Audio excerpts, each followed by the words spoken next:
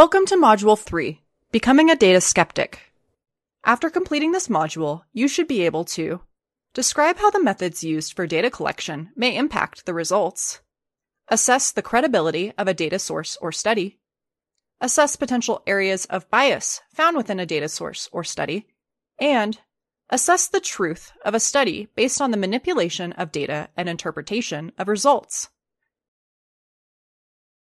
When you hear the word skeptic, you might have a negative connotation.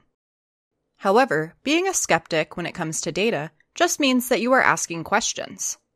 Think of it as being a detective. In this module, you will learn how to ask the right questions and develop skills as a good data citizen.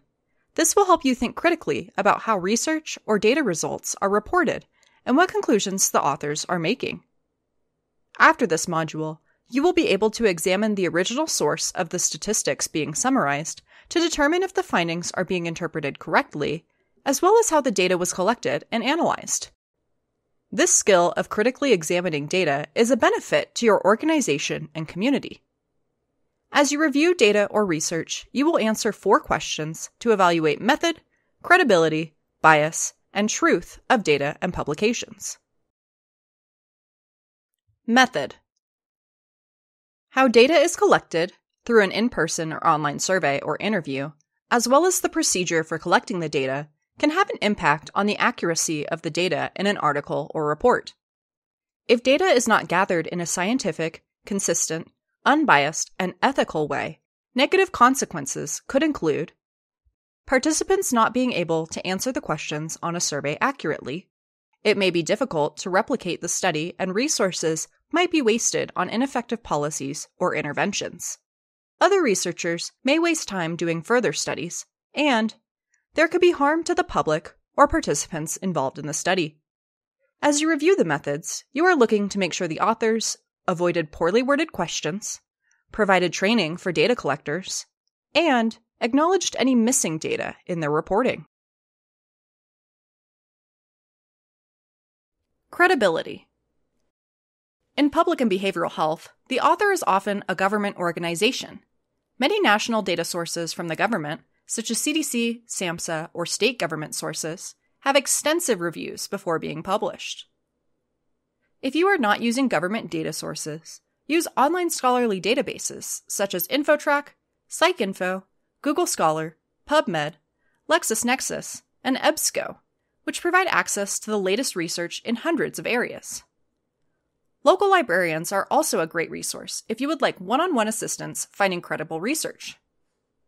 When it comes to reviewing an article or report, it's time to put on our detective hats. Important questions to ask include Is the data quantitative or qualitative? Does this make sense given the type of data being collected? How was the data collected? In person, over the phone, online, or through the mail? Does the article or report provide information on how the data was collected and analyzed? Were consistent procedures followed if data was collected at multiple sites? If data was collected by others, were the protocols written down? Did the researchers provide data collection training? How was confidentiality and security of data information during the data collection ensured? Did participants drop out of the study? If so, why? What was the review process for the data, analysis, and findings? Does the author have a stake in the findings? Before you decide to use data found in an article for a report, publication, or assessment, make sure you examine the credibility of the article by asking some important questions. Who is the author? What else have they written? In what communities and contexts does the author have expertise? When looking at the study itself, what sources does the study cite? Are there any published reviews, responses, or rebuttals to the study? How recent is the article?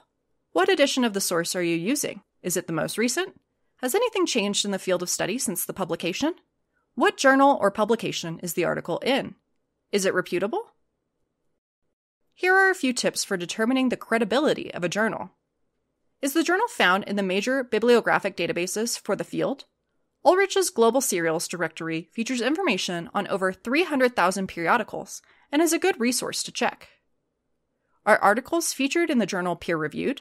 A peer review process means that articles are scrutinized by other experts in the field before they are approved for publication. What is the journal's publishing history? How long has the journal been available? If it's a new journal, is its mission available? Who are the members of the editorial board? Bias. Your next step is to determine potential bias. You will need to ask about the purpose of the report or article. Remember that bias can be both conscious or subconscious. As a data citizen and detective, these types of questions can help you assess bias. Why was this source created? Who is the intended audience of the source? Is it an educational resource, or is the intent to persuade readers?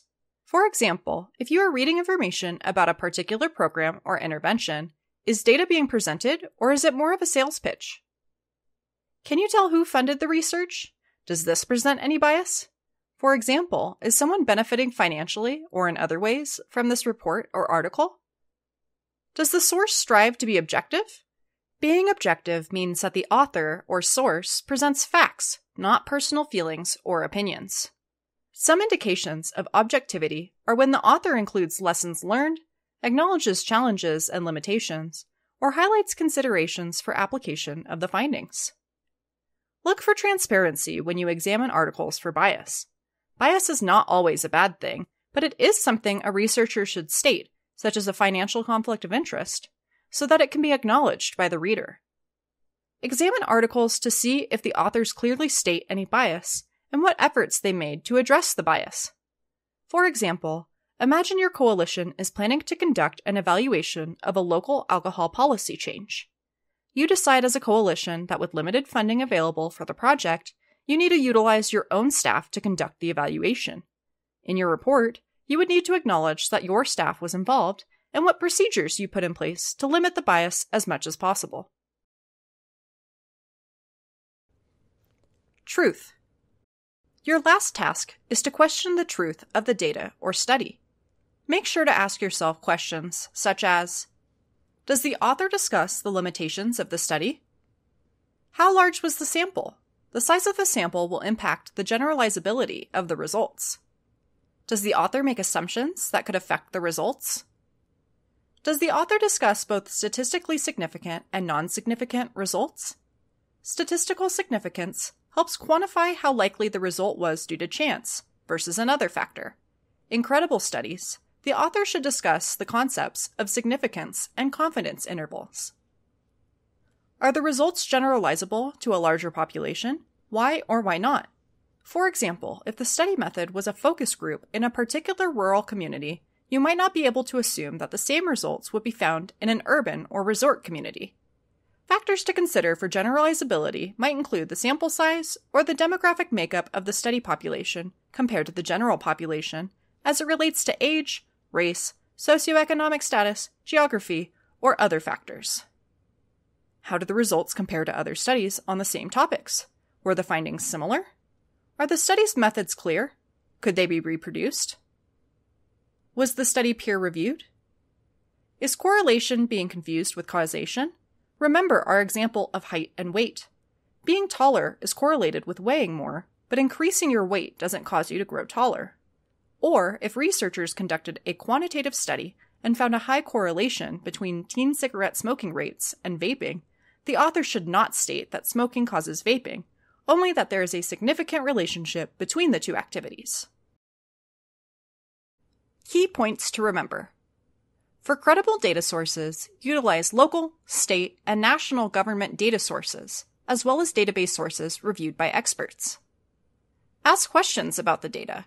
Remember that the job of the data citizen is to ask the right questions. When reviewing articles and data, practice questioning the method, credibility, bias, and truth. Thoroughly evaluate your potential data sources and articles. Reach out to others, such as epidemiologists, data analysts, and librarians, who can help you find credible sources of information. If you are unsure of the credibility or reliability of data, there are experts who can help you.